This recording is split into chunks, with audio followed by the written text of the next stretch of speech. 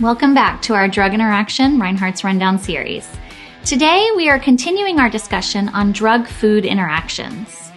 One of the most common drug food interactions is due to our old friend grapefruit juice. First things first, do you know how many people love grapefruit juice? A lot. As a student, I remember being really naive about this whole grapefruit juice drug interaction issue, but let me tell you, People love their grapefruit juice, and this is definitely something as a clinician you'll want to have an awareness of. Now, when medications enter the body, they often get metabolized by enzymes. This is done so that the drug is broken down and can be eliminated from the body.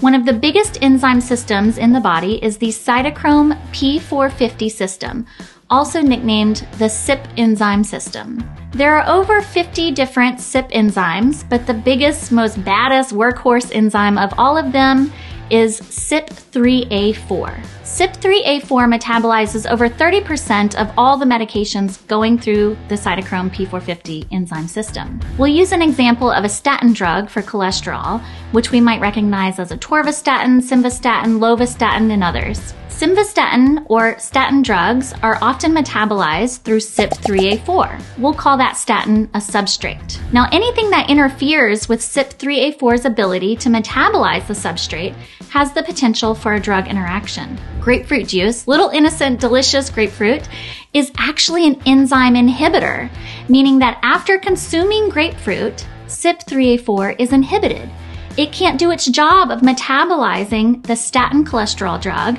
and the statin just sits around in the bloodstream. If it just sits around in the bloodstream, it doesn't get broken down and eliminated, and the level of the drug in the blood increases.